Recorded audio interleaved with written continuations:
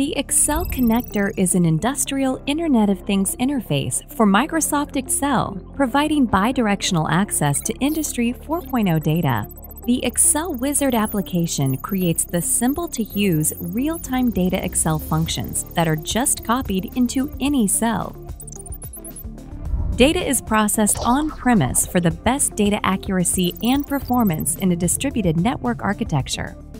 Create and deploy multiple workbooks to run on premise or remote, connected to any number of servers. With OAS, you can use live Excel data to create visualizations for .NET, web, and native iOS and Android applications. Log data and alarms in an open format with no data loss on network failure. Visit OpenAutomationSoftware.com to view our knowledge base for easy to follow steps and example code to create your applications to any data source. Download OAS to start your free trial today.